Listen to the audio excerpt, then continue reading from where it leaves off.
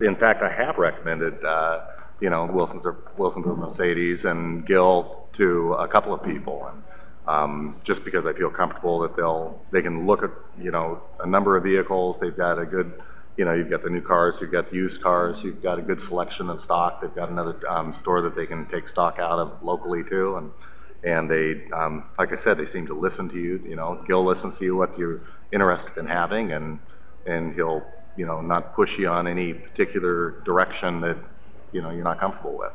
So I, I definitely would recommend it.